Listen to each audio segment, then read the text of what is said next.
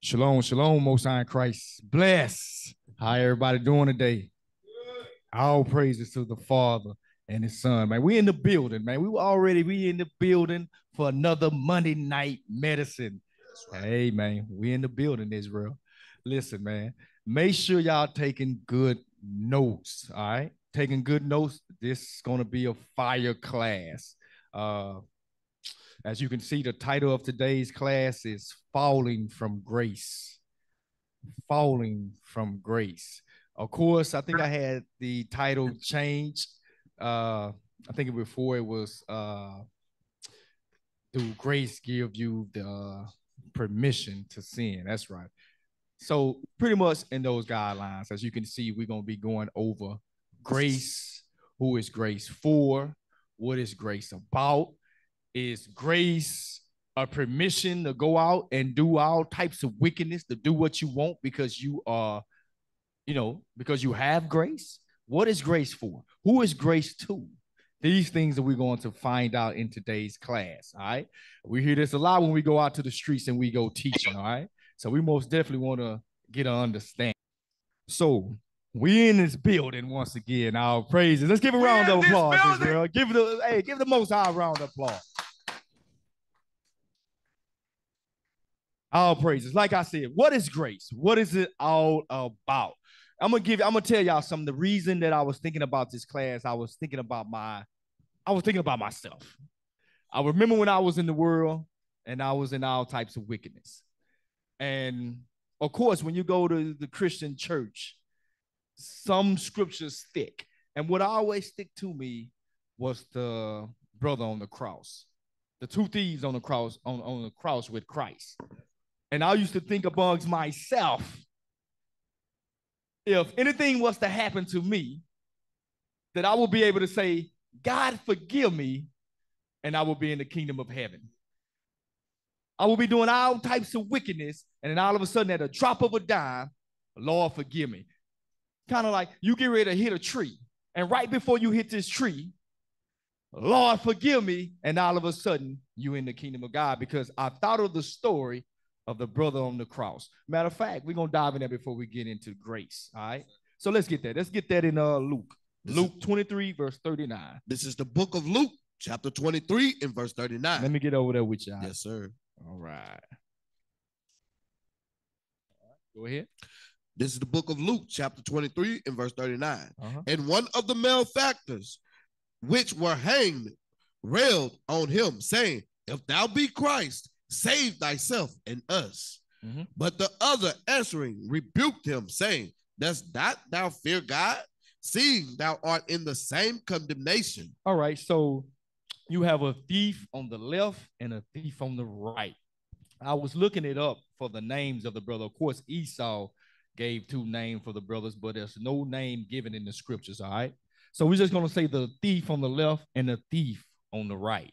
All right. So one thief is going at Christ. If you be the savior, once you get yourself down and get us down also. But this one thief on verse 40, let's read that again. Verse 40. But the other answering rebuked him, saying, Does not thou fear God, seeing thou art in the same condemnation? Read. And we indeed justly, for we receive the due reward of our deeds. But this man have not have done nothing amiss. So this, how would this man, when you look at this scripture, how would this man know that Jesus Christ was a righteous man, that he did nothing wrong? Unless he was walking with Christ. See, in the Christian church, we never think like that. Right. We just say, oh man, this man was a sinner, and then he got salvation, and all of a sudden he in the kingdom of God. That's right. Not thinking, how would this man know that Christ was a righteous man? That Christ didn't do no wrong unless he was walking with Christ. And he fell on the way. He made some mistakes, right? But keep going out. Verse 42. Uh-huh. And he said unto Jesus, Lord, remember me when thou comest into thy kingdom. And Jesus said unto him, Verily I say unto thee, today shalt thou be with me in paradise. And in the in my of course in the wickedness, I used to always think about this scripture.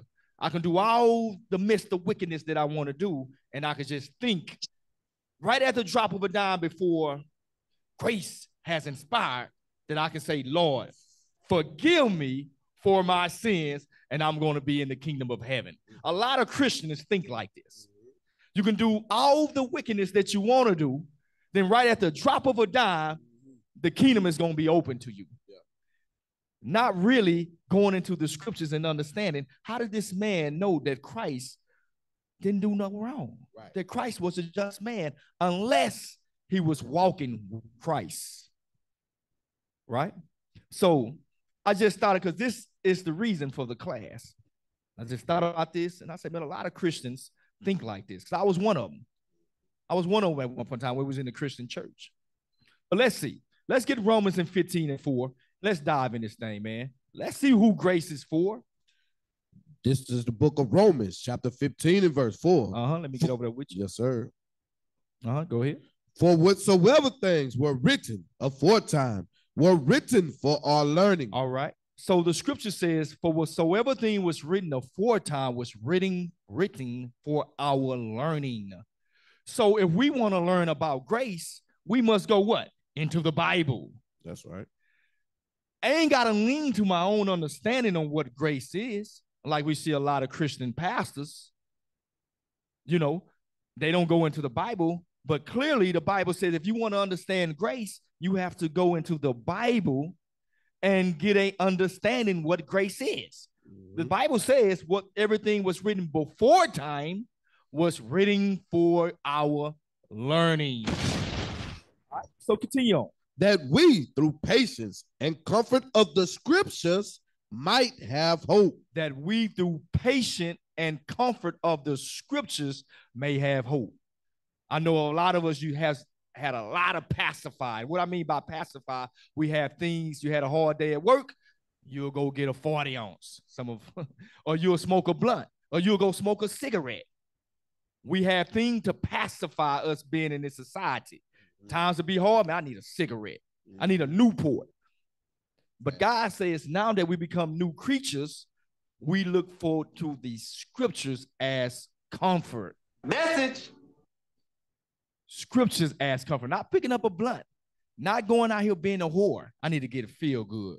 I need to get my rocks off not sleeping from woman to woman, from man to man. Believe it or not, people do that for feel good. Thanks. They going through stuff. Man, I got it. I just got to go. I got to get it off my chest. Mm-hmm. Right? But watch this. I go over to Second Peter's 1 and 20. Watch this. If the Bible says whatever was written aforetime was written for our learning, and we understand that this is the word of God, why not go unto the word of God and see what God is saying, how we're supposed to maneuver in this society, in this, in, in Babylon the Great. How are we supposed to move? How are we supposed to conduct ourselves? But watch this. Read first Second Peter's 1 and 20. This is the book of Second Peter, chapter 1 and verse 20. Uh-huh. Knowing this first, that no prophecy of the scripture is of any private interpretation. We are not going to be pulling this out our behinds about what grace is because it may make us feel good. We're going to actually be going into the Bible and showing you what God says grace is, how grace is supposed to be used. We going, that's what we're going to do. It's coming from the Father and not coming from us. That's right. That's no private interpretation. You ain't going to be able to say you brothers made that up. No, brother, we went from precept upon precept, line upon line. We went into the Bible. We went into God's words to show you what grace is. There's no private interpretation. But continue on. Verse 21 For the prophecy came not in old time by the will of man, but holy men of God. By holy men of God. You got to ask yourself, how did they, how did Moses know if God wasn't behind it, showing him that we was going to go into cargo slave ship 3,000 years later? The prophecy. Mm-hmm. How did how did Christ know? How did Paul know? The prophecy these brothers spoke. God has to be in control and showing these brothers. It says that the holy men of God spake and moved by the Holy Ghost So we want to understand go. I mean, we want to understand what grace is. Let's go into the word of God. There's no there's no gonna be no private interpretation. You're not gonna be able to say you brothers made some up. We're gonna go into the Bible and show you exactly what grace is. So now, as we dive into it, Mhm. what is grace? What is grace? Uh, can you do me a favor? I know I'm, I'm putting you brothers on the spot. Pull up the definition of grace, period. Grace, period. What is grace? Pull that up for me. So, is grace, why is grace given? Who is grace given for? Is grace a, are you saved by grace? These are questions that people really want to know. The Christian church say, hey, man, you ain't got to keep no laws of God. You are saved under grace. All right, we'll see. But remember, I'm looking for grace, period. Grace, period. That's what it says. Let's see, let's see. What is grace, period? Uh, there you go. That's it right there. Let's read that, officer. Yes, sir. This is the definition of grace period. It says, What is grace days period? What is grace period? A grace period is a period of time after the due date of a payment or other obligations during which the borrower is not charged a late fee or penalty. This period typically begins the day after the due date and ends on the final day of the grace period. So when that final grace is over with a water bill, can y'all do me a favor? I'm gonna put y'all back on the spot again. Give me a bill that says past due. So a grace period, right, is supposed to you supposed to gather. Just say you got a mortgage, mm-hmm. and your mortgage is due on the first, right? It's due on the mm-hmm. first, and they'll give you to the 15th to pay. That's right. Your job, if you didn't pay that on the 1st Mhm. is to accumulate the money to pay the bank back That's right. before the 15th. Let's say, say the water bill. Mhm. You have until the 15th past due. I know some of this give y'all nightmares. I know some of you ready to run. You see this past due. I have seen this and ready to run. Lord have mercy. Help me. But past due, you past due, my brother. We're gonna give you up to the 15th to pay this bill. But in that time of the 15th, you have to do what? Accumulate the funds to make it right. Let me make this right with the Bank of America. Let me make this uh, uh, right with whatever electric company that you may have. That's what grace is. But we're going to see what the Bible says. Do the Bible correlate with what I'm saying or what? So you can drop that. So let's go into the scriptures. Let's go over into Titus 2 and 11. Let's see what grace is all about. This is the book of Titus, chapter 2, and verse 11. Uh-huh. For the grace of God that bringeth salvation hath appeared to all men. Uh oh. It says, For the grace of God that bringeth salvation had appeared to all men. Hmm. We're going to come back to it, but I'm going to let you finish it. All right. Go to Yes. verse 12. Go ahead. Verse 12, teaching us that denying ungodly and worldly lust, So grace should be teaching. All right. Go ahead. teaching us that denying ungodly and worldly lust, we should live soberly, righteously, and godly in this present world. All right. So let's go and break this down. Let's go back to verse 11 and let's read that again. Yes, sir. Verse 11 For the grace of God that bringeth salvation hath appeared to all men. Uh oh. We fall off the horse when we see this. Okay. Salvation has to appear to all men. Hmm. Who do the Chinese man need to be saved from? Hmm. Who do the white man need to be saved from? Right. Who do Moab need to be saved from? Fact. These dudes have, thank you, nobody. These dudes, the only people that I see that need to be saving is the blacks, Hispanics, and Native Americans. That's right. Don't you know if they wanted to put us into slavery again, we have no military might to fight? We seen this firsthand when the uh, the weather was bad down this way. You know, we're not used to that snow down in the south. Right. That snow came, was it about three years ago? Negroes was begging for toilet paper, trying to get toilet paper. The toilet paper was out of the stores. Right. You couldn't find it. But the only people that I need to that I see that need saving are the Israelites, the blacks, Hispanics, and Native Americans. We see that down in uh, uh what in Texas at the border. But all right, give me Acts. Give me Acts 531. Let's see who's salvation. What is it talking about? Salvation. This is the book of Acts, chapter 5, and verse 31. Uh-huh. Start at verse 29. Verse 29. Uh-huh. Then Peter and the other apostles answered and said, We ought to obey God rather than men. Mhm. The God of our fathers raised up Jesus, whom ye slew and hanged on a tree. Him have God exalted with his right hand to be a prince and a savior, for to give repentance to Israel and forgiveness of sins. to be a prince and a savior unto Israel. Because, like I stated before, we are the people that need saving. We don't have no military might. That's right. The only our only might is the Father and His Son and His angels, and that's enough. that's right. that's enough. We seen what happened to Egypt. Mm. That's why we always teaching, hey, keep the commandments and the faith of Jesus Christ, because that's our weapon. When it's time to go to war, we in, we in in line with the Father in the order that He wants us in. He's gonna come fight for us. But let's continue on. Go over to um Acts two. Yes, sir. Let's see who is salvation for. That's what we. It says salvation has appeared to all men. Let's see. This is the book of Acts, chapter 2, and verse 21. Mhm. And it shall come to pass that whosoever shall call on the name of the Lord, Uh oh, brother, Mm. you said whosoever. That's everybody. That's all nations. that whosoever shall call on the name of the Lord shall be saved. Ye men of Israel, hear these words. Ye men of Israel, hear these words. See, I ain't plugging all nations in. Remember, the scripture says you not to add on or take away. That's right. So the scriptures explains itself, right?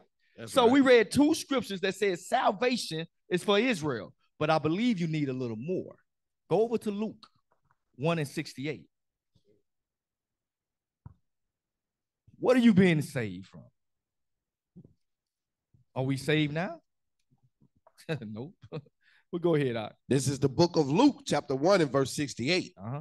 Blessed be the Lord God of Israel. Of all nations. Blessed be the Lord God of Israel. Oh, okay. Go ahead. For he have visited and redeemed his people Uh, his people. Uh-huh. and have raised up an horn of salvation for us in the house of his servant David. Hold, because we got to make sure that people understand who is God's people. Yes, Give me sir. that in Matthew 2 and 6. And we're going to come back to this. Who is God's people? Is it all nations? Let's see. This is the book of Matthew, chapter 2, and verse 6. Uh-huh. And thou, Bethlehem, in the land of Judah, art not the least among the princes of Judah, for out of thee shall come a governor that shall rule my people Israel. My people Israel. So go back over to Luke. This is the book of Luke, chapter 1, and verse 68.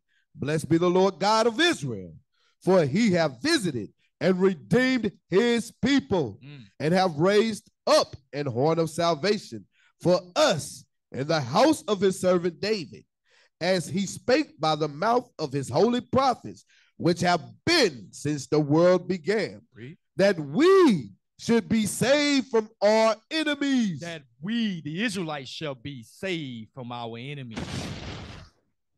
Go ahead. and from the hand of all that hate us. and from all the hands of they that hate us.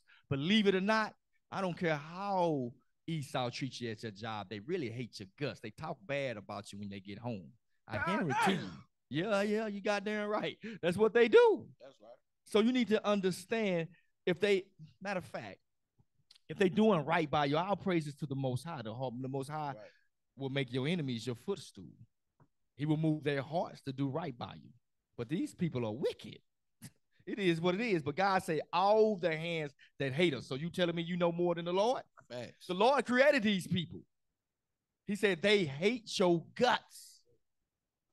Yo, go ahead, read that. This is the book of Proverbs, chapter 16 and verse 7. Uh-huh, read. When a man's ways please the Lord, he maketh even his enemies be at peace with him. Right. And that's what if your ways, if you want that Edomite or that Moabite to be nice with you, do right by the Lord.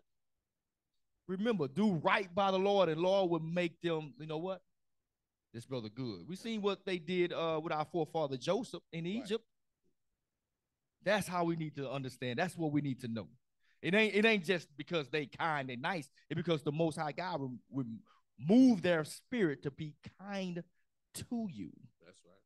So let's go back over to Titus. So now we understand that salvation appeared to all men, and all the men that it appeared to is the Israelites. That's right. Right? So let's go back to Titus. Let's finish it. This is the book of Titus, chapter 2 and verse 11. Uh-huh. For the grace of God that bringeth salvation hath appeared to all men, teaching us that denying ungodliness. Uh-oh. So within that time span, it should be teaching you ungodliness, not not to do ungodliness. Right. But keep going. Teaching us that denying ungodliness Denying it, right? and worldly lust, And worldly lust. we should live soberly, Uh-huh. righteously, Righteously. and godly in this present world. So within that time span, you should be learning how to be righteous. What is righteous according to the Bible? Deuteronomy 6 and 25. Let's get it. What is righteous? Because during this time span, you should be learning this. Remember, well, we the definition meaning that we brought up. Remember, during that time span, you should be getting what? The wages. Right. Let me accumulate my money before I can pay this bill. Guess what? Now, with the scriptures, you should be learning how to govern your spirit, That's right. how to refrain from certain sins, Right. from all sins. This is the book of Deuteronomy, chapter 6 and verse 25. I'll read. And it shall be all righteousness if we observe to do all these commandments before the Lord our God, as he have commanded us. And it shall be our righteousness, our righteousness, Israel righteousness, if we do the commandments of God. Mhm. So, So the opposite of of righteousness is what? is unrighteous. That's right. It's unrighteous. Let's see what unrighteous is. Get First John 5 and 17. What is unrighteous? Because the opposite of righteous is unrighteous. So, what is unrighteous? This is the book of First John, chapter 5 and verse 17. Uh-huh. All unrighteousness is sin. All unrighteousness is what? All unrighteousness is sin. All unrighteousness is sin. We call us sin is sin. You darn skip it. We want to make sure we keep we being righteous. During that time span, we should be keeping the laws of God, learning how to, That's right. learning sisters, learning how to be quiet, Mhm. not call your husband the band. That's right. Brothers, learning how to control your eyes. Keep your eyes in check, not to be lustful, not to commit adultery, not to be fornicating. These things you have a time period to learn how to control and get it right before what time is up. But keep going. Let's go back to Titus. Yes, sir. This is the book of Titus, chapter 2 and verse 11. Uh-huh. For the grace of God that bringeth salvation have appeared to all men, teaching us that denying ungodliness and worldly lust, we should live soberly, righteously, and godly in this present world, Uh-huh. looking for that blessed hope and the glorious appearing of the great God and our Savior Jesus Christ Right. who gave himself for us that he might redeem us from all iniquity He gonna redeem Israel from all their iniquities. Read. and purify unto himself a peculiar people zealous of good works. Now, that word peculiar. That's that that word ain't a typical word. You know what I'm saying? Hey, when I look at the way the most high calls Israel, some of the words outside Peculiar people is one. Uh, holy is another. What's the more? Art? We say elect. Elect. It's kind of Chosen. chosen. right? These words, right? It's kind of like your name may be John John, correct? Your name is John John. I mean, your name is John, Right. but your mama nicknamed you John John. Right. So when she go outside, you may be out. You remember you you outside playing, and soon the lights come on. You know Mhm. that them street lights you better be in before a certain time, right? Right. And your mama may come out that door. John John, bring your behind in this house, boy. Nobody looking but you. That's your name. Right. That's the name that your mother gave you. That's the nickname. Mhm. Everybody, everybody looking at you like, boy, you better get your behind home Fact. or you get your butt whooped and you run on down. That name is particular for Israel. Let's prove it. Exodus 19 and 5. This is the book of Exodus, chapter 19 and verse 5. Read. Now, therefore, if thou wilt obey my voice indeed and keep my covenant, then ye shall be a peculiar treasure unto me above all people, for all the earth is mine. For all the earth is the Lord and peculiar people. Keep going. Some more than that. And ye shall be unto me a kingdom of priests and an holy nation. These are the words which thou shalt speak unto the children of Israel. Unto the children of Israel. They are the peculiar people. So I haven't read anything about the Jebusites, the Moabites, the Edomites. Everything so far has been cons- uh, uh, containing to the Israelites. Go ahead, Doc. This is the book of Deuteronomy, chapter 14 and verse 2. Uh-huh, read. For thou art an holy people unto the Lord thy God, and the Lord thy the Lord have chosen thee to be a peculiar people unto himself above all the nations that are upon the earth. but there you go again. I have chosen you to be a peculiar people above all people on the planet Earth. This God sounds like a racist. That's right. All praises to the Most High. We on the right side. Thank you, Lord. Mm. But the truth is the truth. That's right. This ain't no private interpretation, as we stated before. We've been going precept upon precept, proving. Remember, the scripture says not to add on or take away. All right. So let's get into it. Get into it some more. Let's get the first video uh, about the pastor talk. No, that's not him. Let's go to the next. The other one. Uh, with the one talking about grace. Is that the two? Uh-uh, not that one either. It's another one. Let me see. Oh no, go back. Maybe that was it. That one you just left. It was short. I think it was like four minutes. Is that it? That one. Okay. It's first one. Oh yeah, that's that guy. That's that guy. Okay. They got them suits, them Easter suits on. No, they hot. He look hot. His, look at his forehead. His forehead is sweating. Look at it. Lord here. But let's let's play this, man. Let's play this. Let's see what this guy's talking about. What's this pastor's name? They don't got his name. No, it doesn't even work. It don't even matter. But let's see what this guy's talking about. Go ahead. Pastor Chris gave. Or what's grace? Grace is the divine influence on the heart of a man that is reflected or expressed outwardly. I'll take that again. Grace is the divine influence. That means a divine impartation in the heart of a man. That is the spirit of a man. That means grace is a spiritual commodity. It's a spiritual essence that is imparted by the Holy Spirit in the spirit of a man. In the spirit of a man, your spirit can receive grace.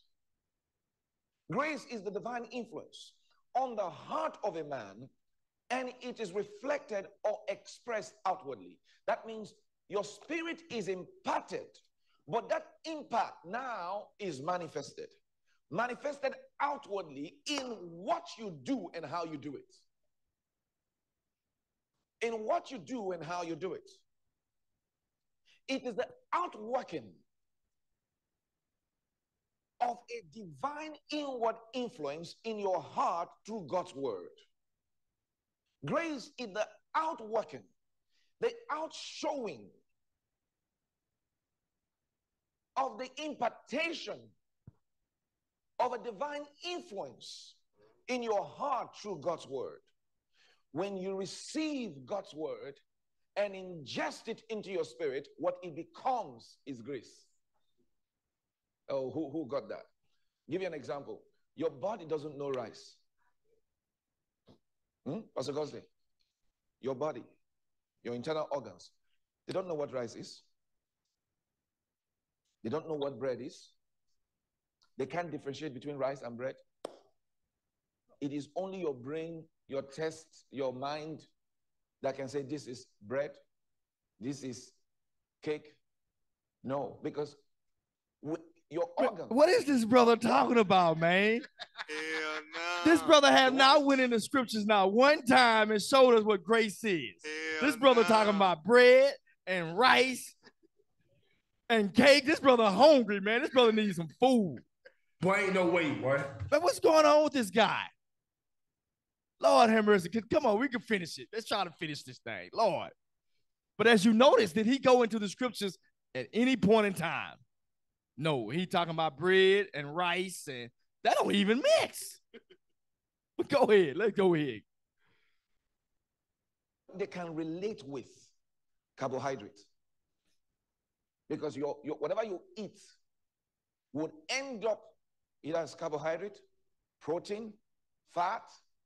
Those are the things that your organs can take. So if it is bread or rice, it will end up as something else. When God's word comes into your spirit, the final product of assimilation the way your spirit assimilates God's word is called grace. Let's let's stop. We got enough. As we can see, this guy right here don't know what he's talking about. And apparently he's hungry because all that he's talking about is bread, rice, carbohydrates, but he ain't heard nothing about grace. Nothing about he never did go into the scripture and gave you what grace is. Hold up. Hey, Wait a minute. thank the Lord you the, right. and you you hear. You hear because you could have been look. Hey, look at the guy in the blue back there with the phone. You see him? The dude with the blue. He ain't paying no attention. Everybody, look back there. They got the phone. They ain't paying no attention. Like this nigga. It's called Nigga. Yeah, look, that's lock. They ain't paying no attention. Yeah, we know this nigga don't know what he talking about. His pants too tight. The circulation not going all the way to his head. But let's get out of there, man. This man has no idea what grace is. And I'm gonna show you why he don't understand. Go to Isaiah 28. It's plain as day. Because he has the same Bible that we have. For the most part.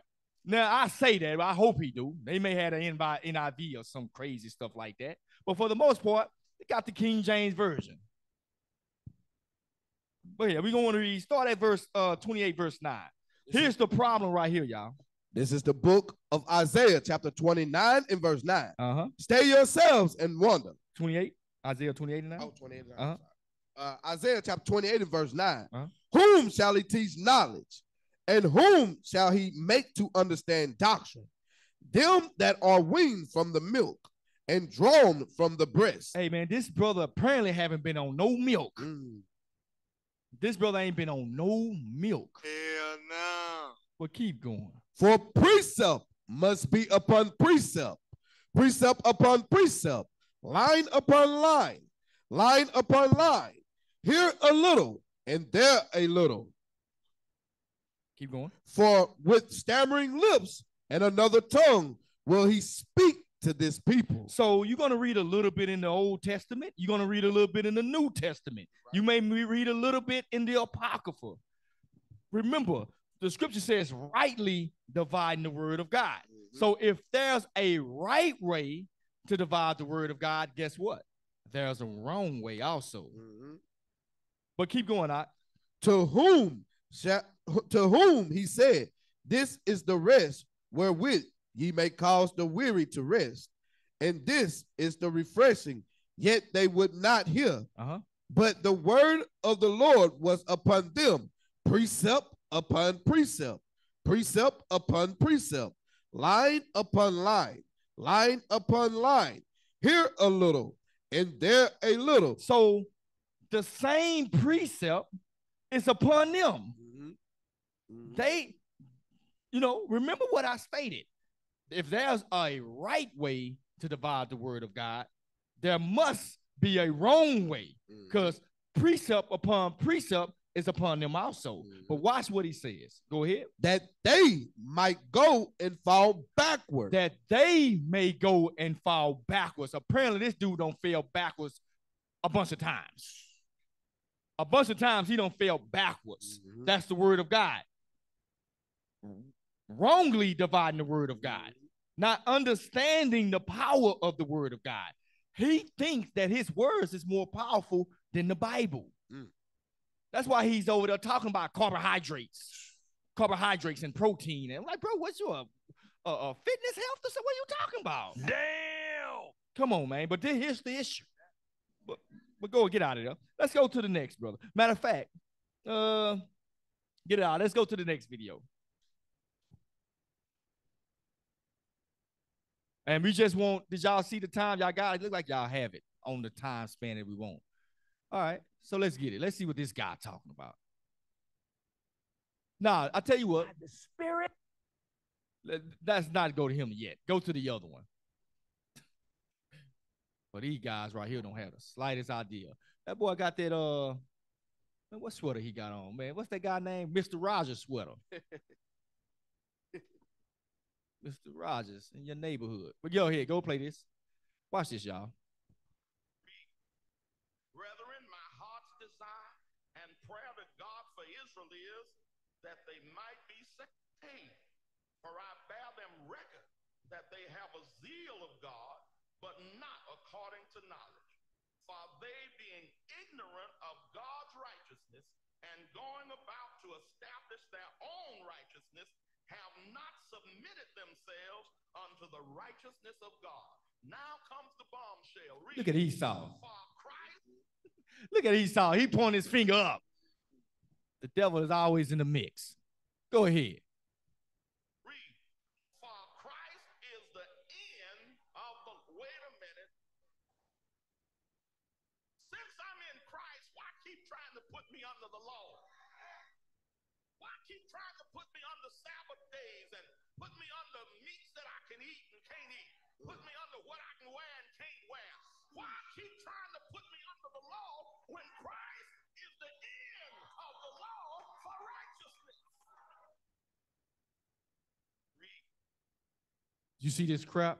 Let's see what Christ says out of his own mouth. Let's let's deal with this real quick. This guy. So what he's saying is you don't mind if a brother rape your your wife. You okay because he's under grace, right? You don't care if a man come and sleep with your dog in the back. Bestiality. You okay with that because he's under grace, right? You cool with that. Voila. You don't care if they come in and rob your church and take all the tithes and offering, right? You, you, you okay? You should be okay with that. They under grace. Let them get the money and go right out the door. They under grace. We don't have to keep no laws. This the type of talk that is destroying the black community. Mm-hmm. Because think about it. You have a church in every at each corner in the black community. Mm-hmm. I always say you're gonna hit a church. You close your eyes with a rock, you're gonna hit a church and a liquor store on each corner. These churches are set up in our community, and this is what they teaching. Damn. That you don't have to keep the commandments of God, that you under grace. Mm-hmm. So you should be okay with police brutality. Hmm. You should be okay with the black on black crime in the in the neighborhood. Mm-hmm. If you saying this. It doesn't make any sense. But let's see. Hold it out. Watch this. Let me show you that this guy is a liar and the truth is not in him. Go to Second Esdras. Second Esdras, and let's go to nine. And let me make sure that's what I want. Nine and thirty-six. Yeah, that's it. Watch this. This is the book of Second Ezra, chapter 9 and verse 36. For we that have received the law perish by sin, and our heart also which received it. Notwithstanding, the law perisheth not, but remaineth in his force. remaineth in his force. The laws of God is still stands today. The laws of God is still in force. But the Mm, brother has no understanding of that. that's right. Because he apparently he's not reading the scriptures. But let's see what our Lord Jesus Christ said in Matthew. Let's get Matthew 15. So apparently the scripture says the law is still in its force, meaning still in existence. Yeah, 515. I'm sorry. This is the book of Matthew, chapter 5, and verse 17. Uh-huh. Think not that I am come to destroy the law. So Christ says out of his own mouth, think not that I'm come to destroy the law. I mean, come to destroy the law. That's easy to understand. He ain't come to do away with it. A kid should understand that. We'll understand that. But go ahead. Think not that I am come to destroy the law or the prophets. Uh-huh. I am not come to destroy, but to fulfill. What did Christ fulfill? Hold that. Go over to uh, Luke 24. 24, 44. Then we're gonna go over to uh, Acts 3. What did what is Christ saying? I didn't he not did come to destroy, but to fulfill. What is he talking about? This is the book of Luke, chapter 24, and verse 44. Read. And he said unto them, These are the words which I spake unto you while I was yet with you, that all things must be fulfilled which were written in the law of Moses and in the prophets and in the Psalms concerning me. concerning him. Go over to Acts. What's concerning him? The prophecy that he must die for the children of Israel, that he must be hung on the cross, he must be pierced, he must be whipped. But go ahead, watch that. This is the book of Acts, chapter 3, and verse 18. Uh-huh. But those things which God before had showed by the mouth of all his prophets that Christ should suffer, he hath so fulfilled. The suffering that Christ, he fulfilled that on Calvary. Mhm. They hung him, they pierced him. Now go over, go back over to Matthew. Let's get to because this guy don't know what he's talking about. This is the book of Matthew, chapter 5, and verse 17. Uh-huh. And think not that I am come to destroy the law or the prophets. I am not come to destroy, but to fulfill. Uh-huh. For verily I say unto you, till heaven and earth pass. We are still here. We are sitting on heaven and earth. We, we can look in the sky and we see heaven. We standing on the ground, we see earth, right? Go ahead. till heaven and earth pass. Still here today. One jot or one tittle shall in no wise pass from the law. Not one jot or one tittle shall no wise pass from the law. And we in the New Testament. This is Jesus Christ. So you gonna believe Jesus Christ or the pork pork chop eating pastor? Which one? Which one? Go ahead. Till all be fulfilled. And all things are not fulfilled. The nation have not went in captivity. That's right. So we must keep the laws of God. Go over to uh Romans 6 and 1. This this is the problem with the black I mean, this all these pastors, man, that they say things like this and they don't understand what they're saying. Like I say, you saying it's okay, you know what I'm saying, for man, sleep with your wife. Facts. You gonna I guess you gonna sit there and watch. No telling though, these dudes are sick. Right. watch this. Go ahead. This Matter- is hold on before you get there. Give me Psalms 119 and verse 160. We'll get that. We'll get that. We're gonna come back to it.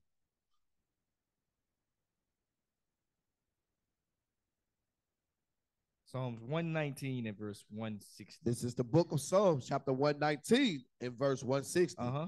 Thy word is true from the beginning, and every one of thy righteous judgments endure forever. They endure forever.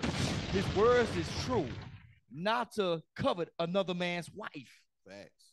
Not to covet another man's uh, another woman's husband. That's true. Facts. today, not to bear hatred, not to murmur, not to steal, not to kill. That is still true today. And but it's been set up from the beginning. So why would God destroy that? If if, if God destroyed it, it would be chaos. It would be chaos in the planet Earth. Right. Hmm? Go to Psalms 119 and 172. Psalms chapter 119 and verse 172. Bring it. My tongue shall speak of thy words, for all thy commandments are righteousness. All thy commandments are righteousness. Right? So watch this. Go over to Romans 6 and 1. This is the book of Romans, chapter 6 and verse 1. What shall we say then? Shall we continue in sin that grace may abound? Should we continue in sin just because you are under grace? Go ahead. God forbid. No. How shall we that are dead to sin live any longer therein? It doesn't make any sense, y'all. Christ came and died for our sins, so we must we gonna continue in it. Bring it out. Does that make any sense? No, sir. I, I- I- I didn't even pull this scripture. Get Revelations real quick. Revelations 22. Revelations 22 and 14. We in the last chapter in the book. The last eh, matter of fact, the, the way you're going to get into the kingdom is by keeping God's commandments. That's right. This is the book of Revelations, chapter 22 and verse 14. Uh-huh. Read. Blessed are they that do his commandments. So you want to be blessed, you have to do God's commandments. Keep going. that they may have right to the tree of life. That they may have right to the tree of life, get into the kingdom of God. Read. and may enter in through the gates into the city. Read. For without are dogs, Without our dogs. and sorcerers, Uh-huh. and whoremongers, Uh-huh. and murderers, Uh. and idolaters, Uh. and whosoever loveth and maketh a lie. And this is what this man apparently loves to make things a lie. But the Bible we just read in Revelation, we went to the last chapter, and it says, You want to get in the kingdom? Keep God's commandments. Let's see what Christ said. I want to point out something before we get to the grace. Watch this. Go over to John 8 real quick. I want to show something. If if all we got, all we have to do is keep grace, and that's all we have, then what are we doing? Hey, we just could just be out here be some lawless people. But watch what Christ say, because that's that's that's a lie. This is the book of John, chapter 8 and verse 3. Let me get over there with you. Yes, sir. Mhm. Go ahead. This is the book of John, chapter 8 and verse 3. And the scribes and Pharisees, I'm sorry, eight and eleven. 8 and verse 11. Uh, read. She said, No man, Uh, Lord. Go up to uh. Go up to verse six. Verse 6. This they said tempted him. Uh, tell you what, go up. Verse four. Verse 4. They say unto him, Master, this woman was taken in adultery in the very act. So they caught this woman getting it in. What? Where the where the man at? you know, what I'm this woman in the very act. Right. Dude was very partial. These uh, Pharisees, scribes. But go ahead. Now, Moses in the law commanded us that we that such should be stoned. But what sayest thou? Oh, they were trying to tempt Christ. Go ahead. This they said tempted him that they might have to accuse him.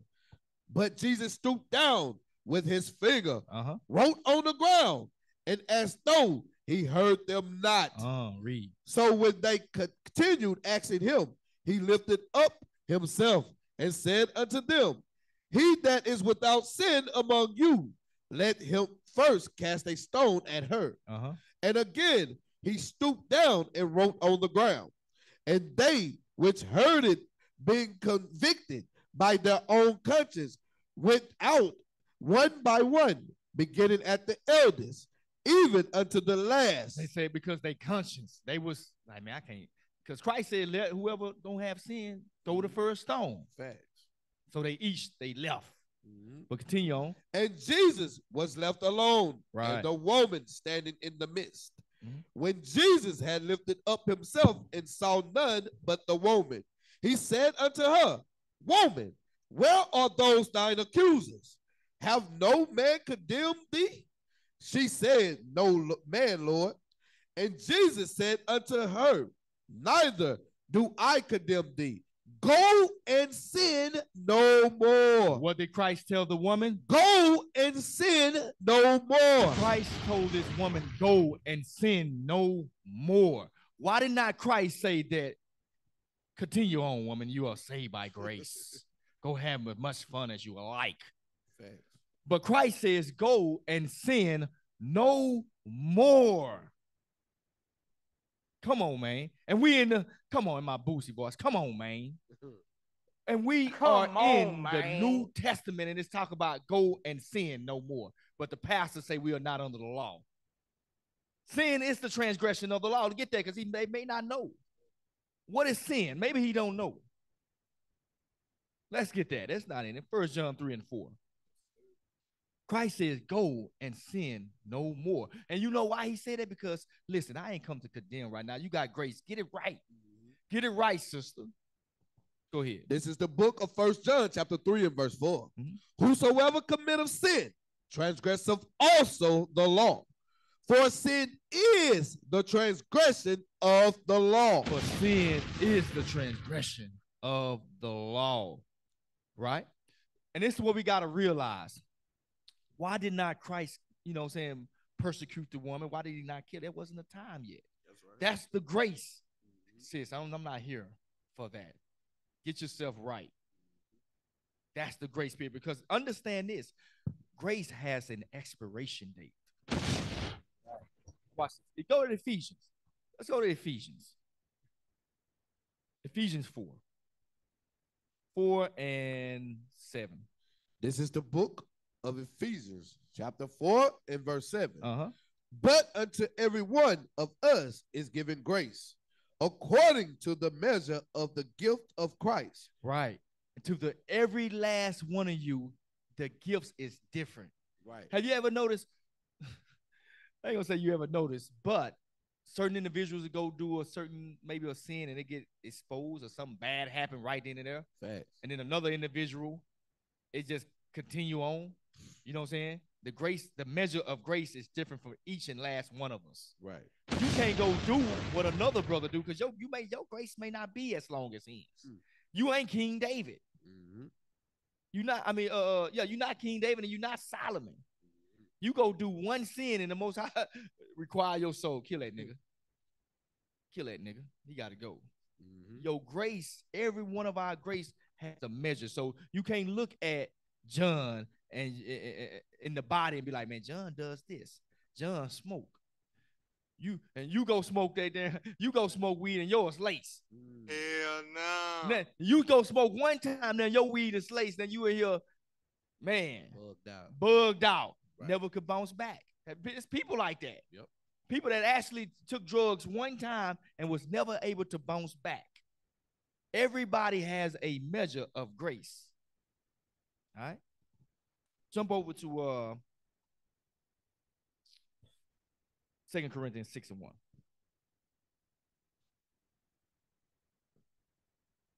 This is the book of Second Corinthians, chapter 6 and verse 1. Uh-huh.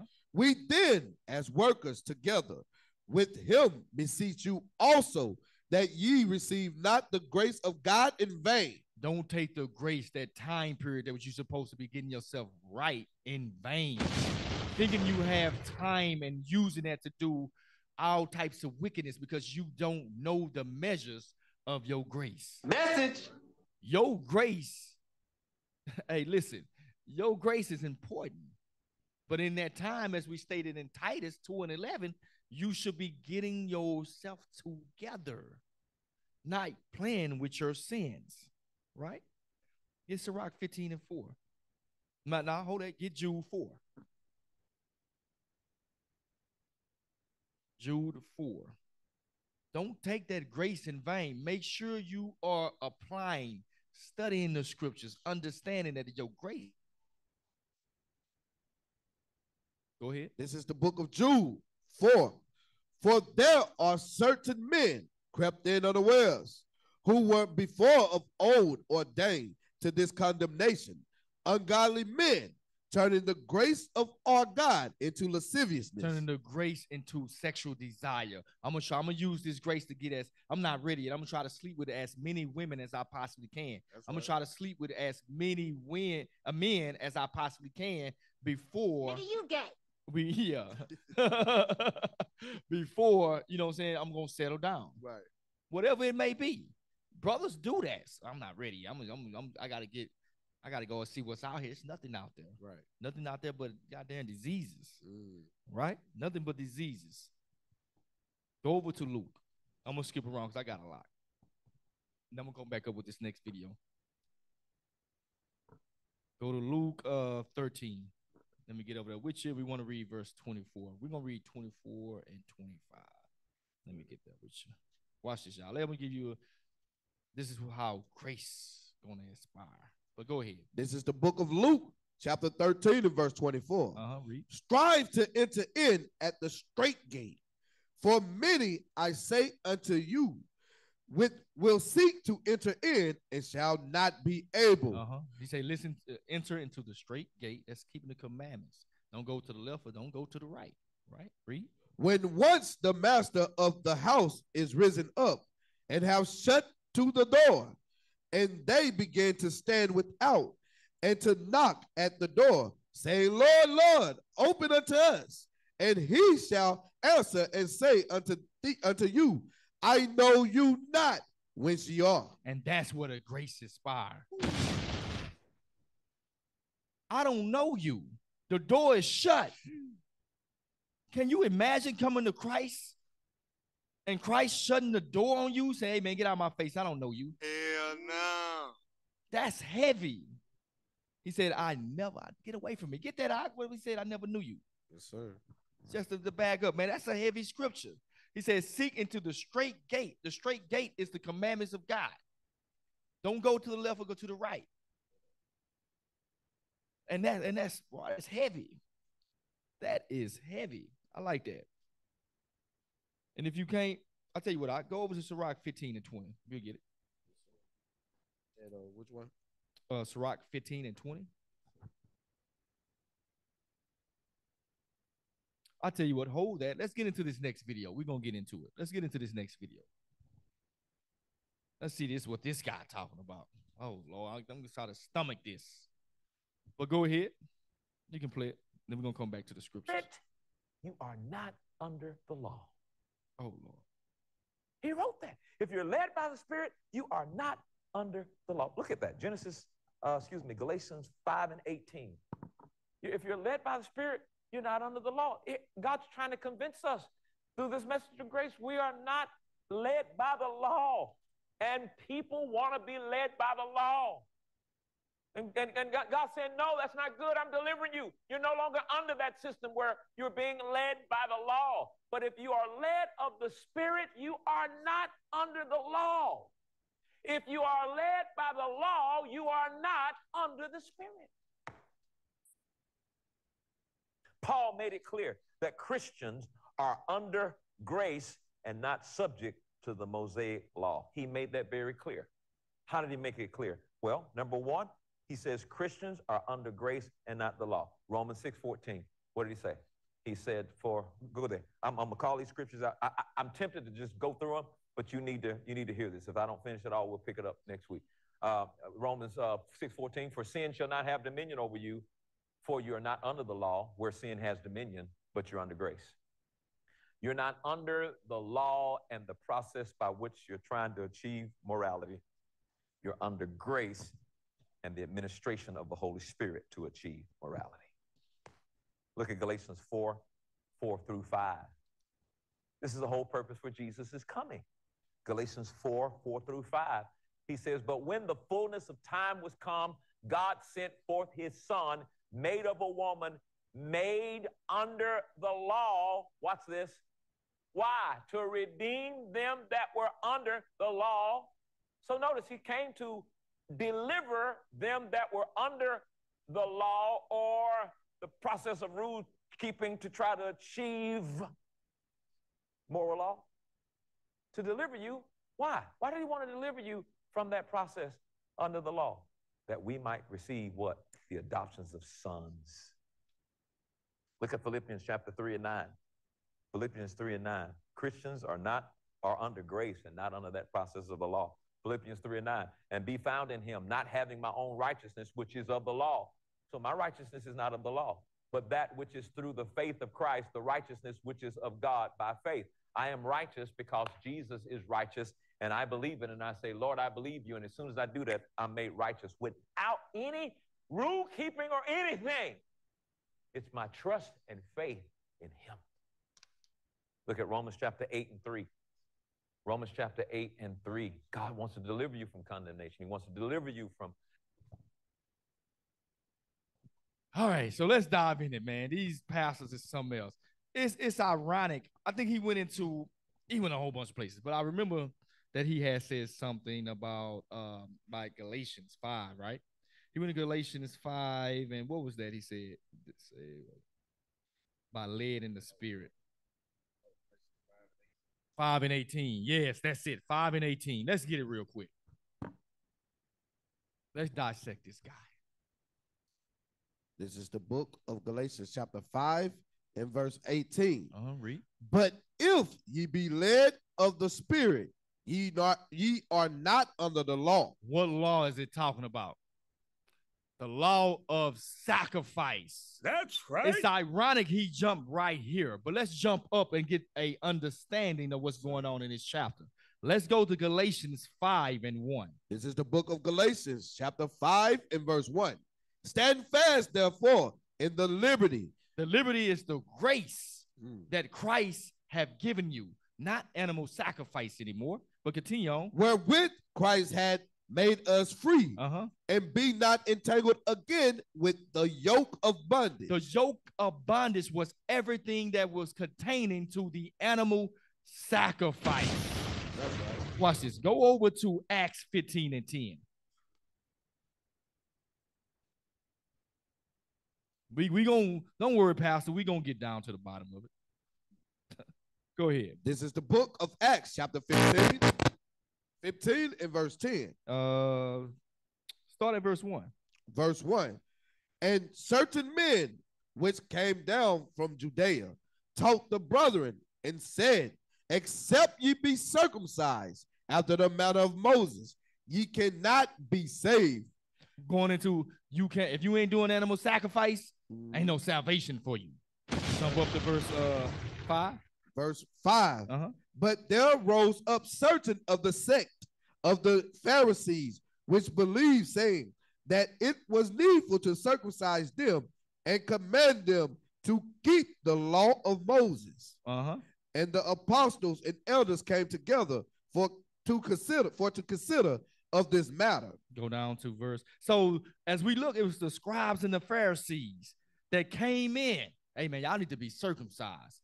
Talking about animal sacrifice. That's right. But watch this. Jump down to verse 10. Verse 10. Now therefore, why tempt ye God to put a yoke upon the neck of the disciples, which neither our fathers nor we were able to bear? Oh, the yoke is going into animal sacrifice. Go over to Galatians.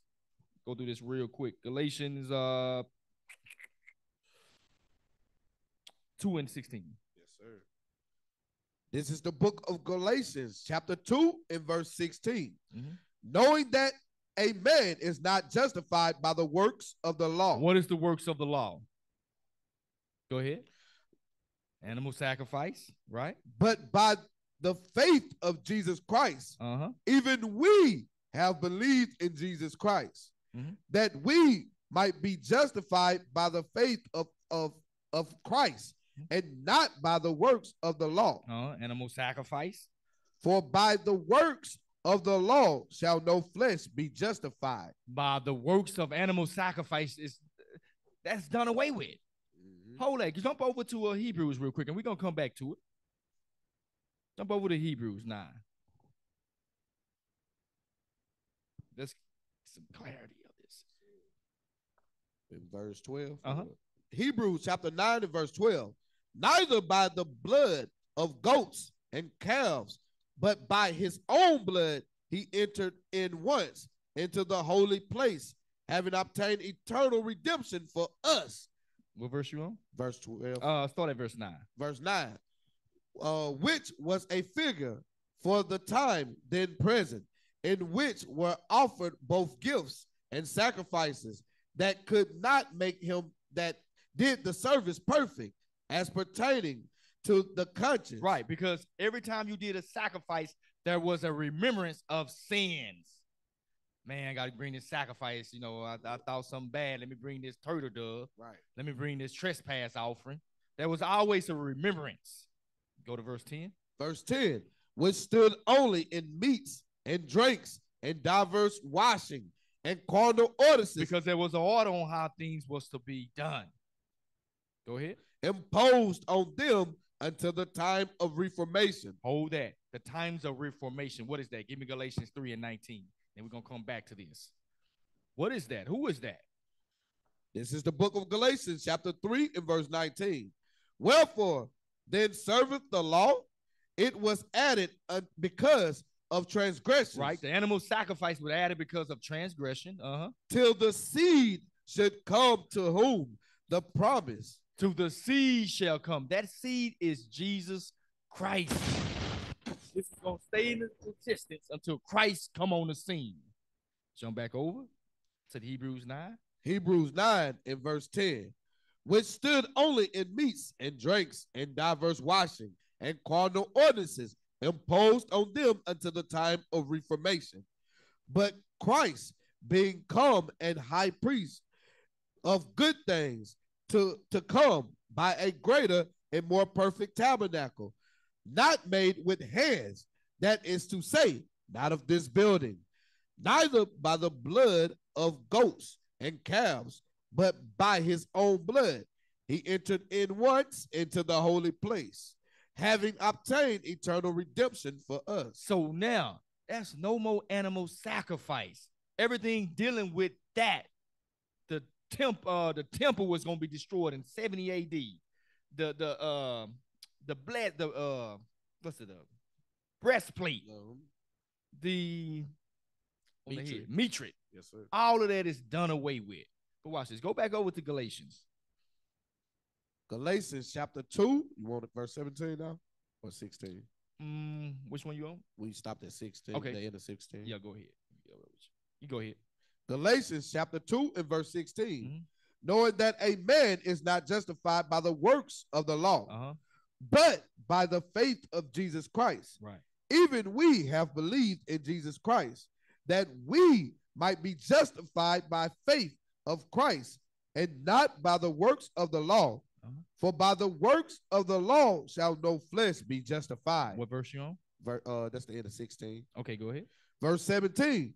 But if while we seek to be justified by Christ, we ourselves also are found sinners. So it says, but if while we seek to be justified by Christ, we ourselves ought to be found sinners. Believing, oh man, you know what? We got grace. We got grace because of Christ.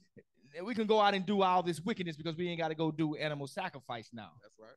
No, that's not. No, that is wrong. Continue on.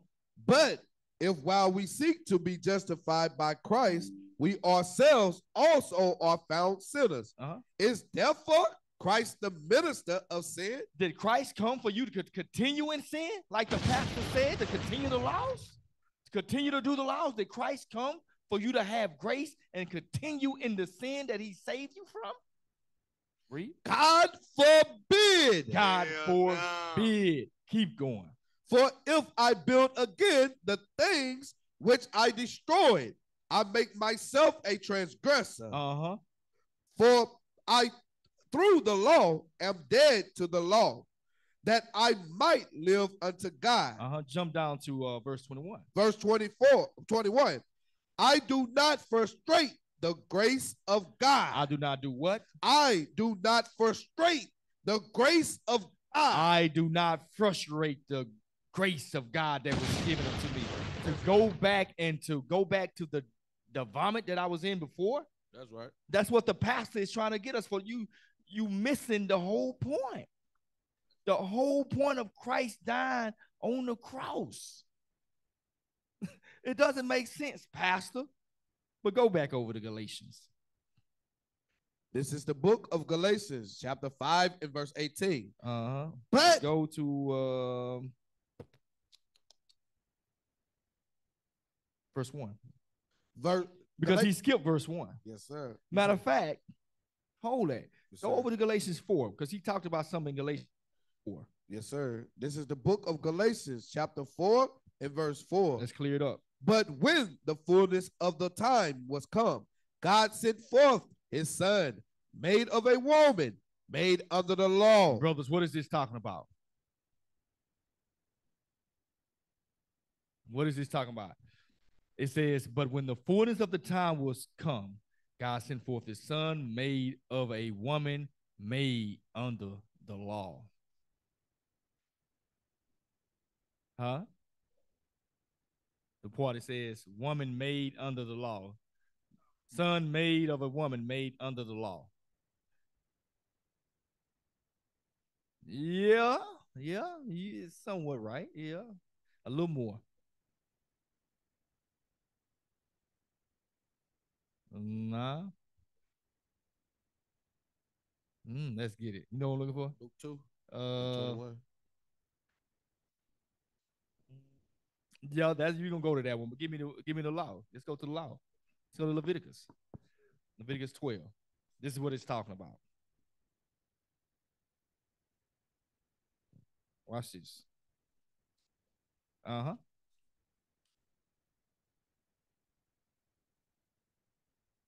This is the book of Leviticus, chapter 12 and verse one Uh-huh. And the Lord spake unto Moses, saying, Speak unto the children of Israel, saying, If a woman have conceived seed and born a man child, then she shall be unclean seven days, according to the days of separation. For her infirmity shall she be cl- unclean. Uh-huh. And in the eighth day, the flesh of his foreskin shall be circumcised, and she shall then continue in the in the blood of her purifying. So the point is in verse 3. It says, And he shall be circumcised on the eighth day. That's the law that is referring to. Even with that being said, you have to bring what? You have to be in a sacrifice for that.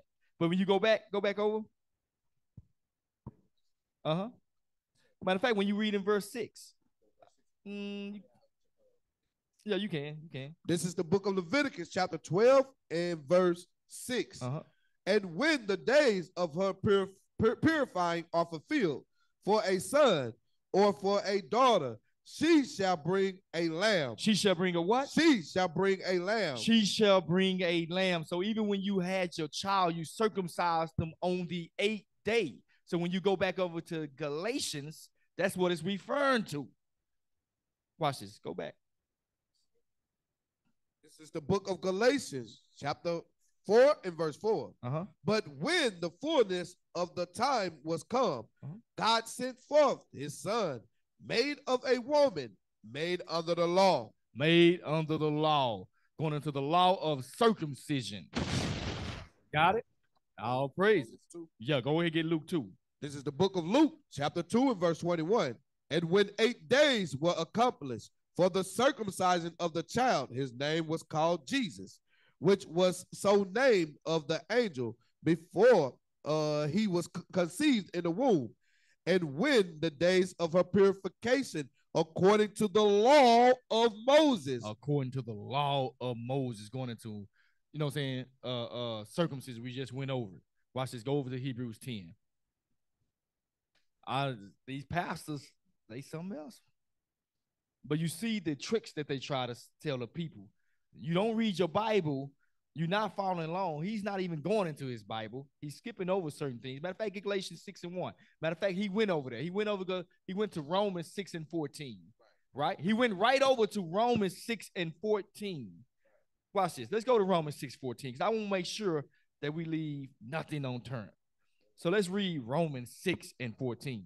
This is the book of Romans, chapter 6 and verse 14. Uh-huh. For sin shall not have dominion over you. Uh-huh. For ye are not under the law, but under grace. Uh-huh. what then? Shall we sin because we are not under the law, but under grace? God forbid. God forbid. I don't even think he read that part. He just read verse 14. Yes, sir. It says, God forbid. What shall we say then? Because we are under the, we're not under the law, animal sacrifice, Right. but under grace. God forbid. Show up the six and one. Romans chapter 6 and verse 1. Uh-huh. What shall we say then? Shall we continue in sin that grace may abound? God forbid. How shall we that are dead to sin live any longer therein? How are you gonna go back to the old man and the old woman? Right. You're supposed to be in Christ now. That's what you're supposed. You're supposed to be in Christ. So how are you gonna go back to that? Give me that in uh, Acts 13. Wait, these pastors something else. Hold on, real quick.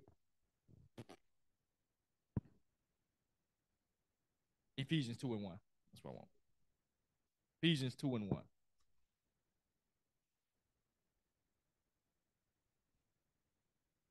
This is the book of Ephesians. Uh, one more page. Mhm. Ephesians chapter 2 and verse 1. Read.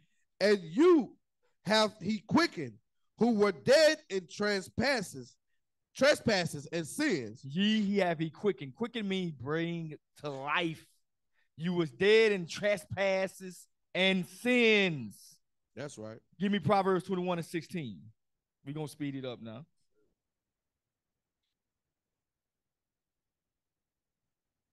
We was dead in trespass and sins. Now, guess what? We thanks the Lord for Christ. Sir, this is the book of Proverbs, chapter 21 and verse 16. Uh-huh. The man that wandereth out of the way of understanding shall remain in the congregation of the dead. Why shall we go back to the congregation of the dead when Christ have uh, uh, uh, brought us from them dead works, Right. from trespasses and sins? Why would we do that?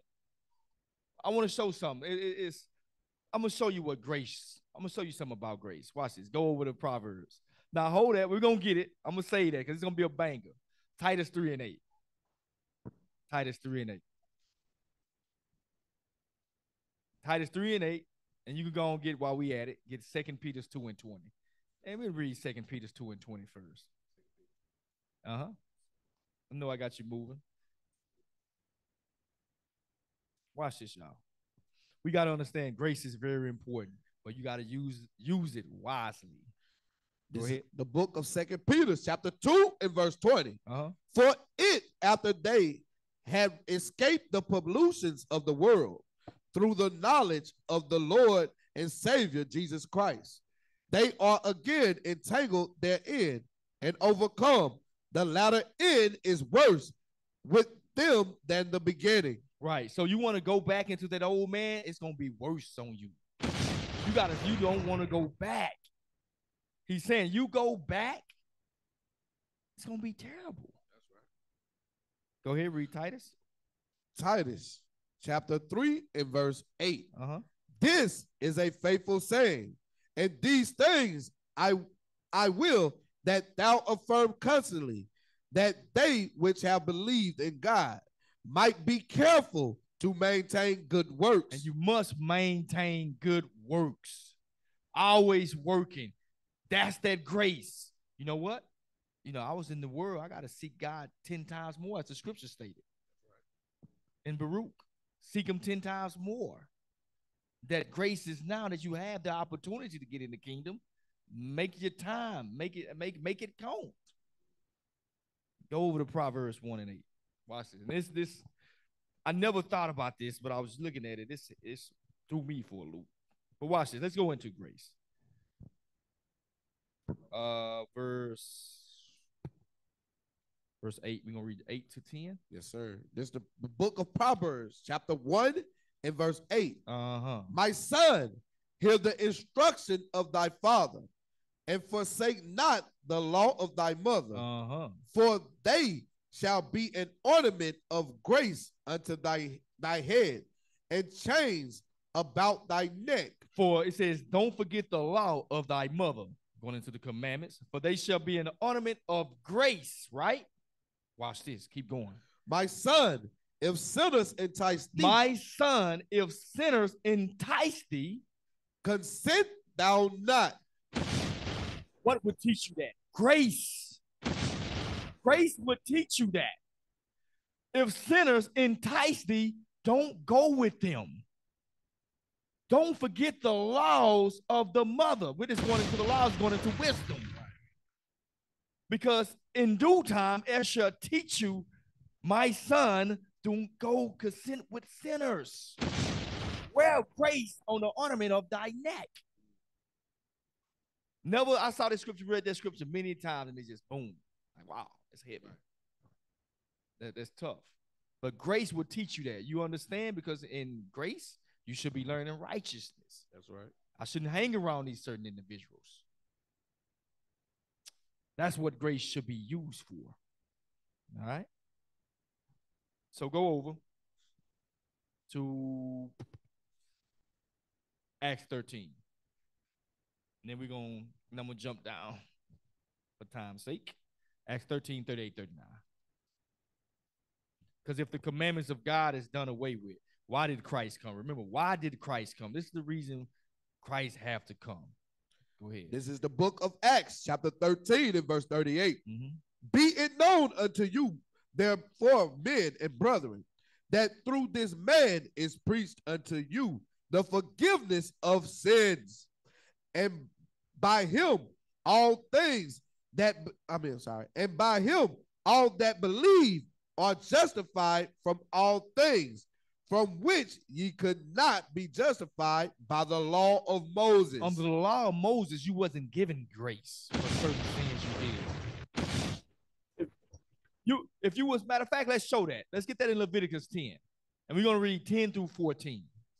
Certain sins you did, there was no sacrifice you could bring to the altar. You can you can offer a sacrifice. Uh yes, sir. Leviticus 20, and we're gonna read verse 10 through 14. We're gonna show you this. Thank the Lord for Christ. This is the book of Leviticus, chapter 20 and verse 10. Uh-huh. And the man that committeth adultery with another man's wife, Uh-huh. even he that committeth adultery with his neighbor's wife, the adulterer and the adulteress shall surely be put to death. You shall be put to death. You can't bring a sacrifice. I need your I need your blood. Right. The Lord, I need your blood. I don't want no turtle dove. Mm. You got to die Mm. if you was in this sin. But Mhm. keep going. And the man that lieth with his father's wife Uh-oh, the man that lies with his father's wife, read. have uncovered his father's nakedness. Both of them shall surely be put to death. Mm. Oh, you don't slept with your father's wife? Take that wife and that son, they must die. That's right. But under Christ, you are forgiven. You got grace to get it right. Mm-hmm. Keep going. their blood shall be upon them. Mhm. And if a man lie with his daughter in law, both of them shall surely be put to death. Uh-huh. They have wrought confusion, their blood shall be upon them. They got brought confused. The Lord, the Lord got he got a sense of humor. They gonna brought confusion. Now the dog don't understand. He's looking back like she looking back. Or they, they confused like a mug. What's Man. going on here? We'll keep going out. Verse 13 Uh-huh. If a man also lie with mankind, as he lieth with a woman, Uh-huh. both of them have committed an abomination. Uh-huh. Wow. God called a homosexual act is abomination. Read. They shall surely be put to death. And they shall surely be put to death. A lot of us was in the midst of some of these sins. right. I'll praise it for the grace of God to get it right. Mhm. What verse you was on? The uh, almost there in the 13. Go ahead. Their blood shall be upon them. Uh-huh. And if a man take a wife and her mother, it is wickedness. They shall be burned with fire. Both he and they, that there be no wickedness among you. Wow. You take a man, a wife, uh, you take a and if a man take a wife and her mother, so his mother-in-law, the Lord say burn both of them. Straight up. burn them in the street. That's a righteous judgment. Then that's Right. righteous. But guess what? All the Lord say, guess what? They can repent. Salvation is still unto them That's right. under the blood of Christ. But that don't mean you go back and continue in this. So you telling me Christ died for you can go back and sleep with a dog, with an animal? Do that make any sense? No sense at all. Pastors got to be careful. Watch this. Go over to Second Corinthians. Let's finish it out. We got three scriptures and we're gonna close it. Second Corinthians 5 and 10.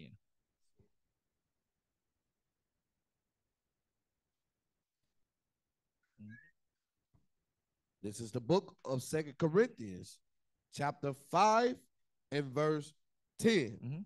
For we must all appear before the judgment seat of Christ, that every one may receive the things done in his body according to that he have done, whether it be good or bad.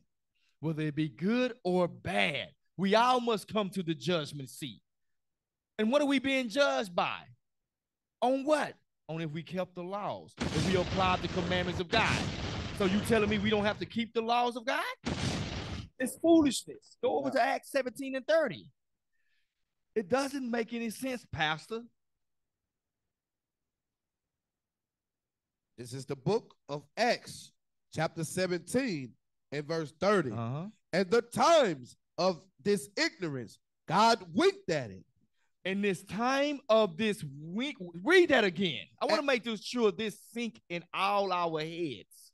And the times of his ignorance, And his time in the ignorance, God winked at. God winked at it. What do that mean? Jude.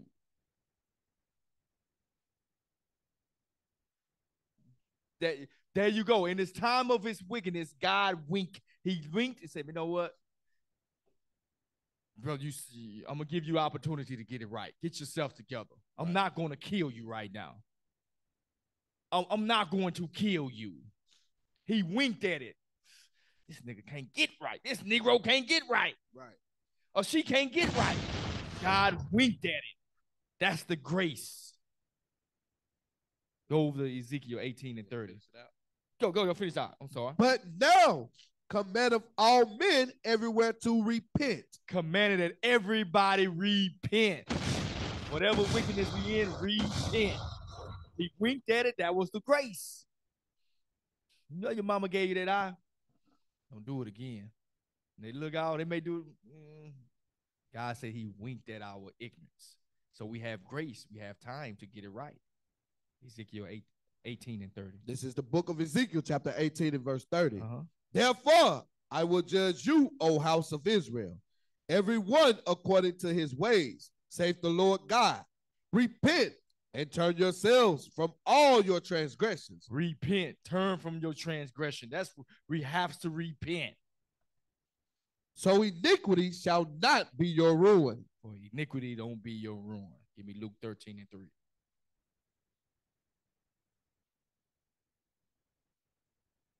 This is the book of Luke, chapter 13 and verse 3. Uh-huh. I tell you, nay, but except ye repent, ye shall all likewise perish. If we don't repent, we shall all likewise perish.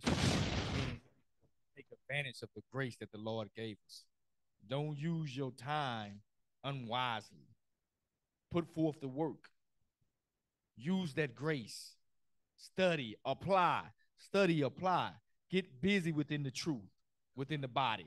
That way you don't go off. Counsel. Don't be afraid to ask. Hey, man, I'm, I'm, I'm dealing with this. Don't be afraid. Right. The scriptures say there is safety in the multitude of counsel. All right. So all praises to the Most High. You know, that will be the class for the day. You know what I'm saying? All praise. I hope that y'all got something from the class, man. Nation is family. Nation is community. Nation is men leading by example. Nation is women's support. Nation is children with role models. Nation is unity. Nation is.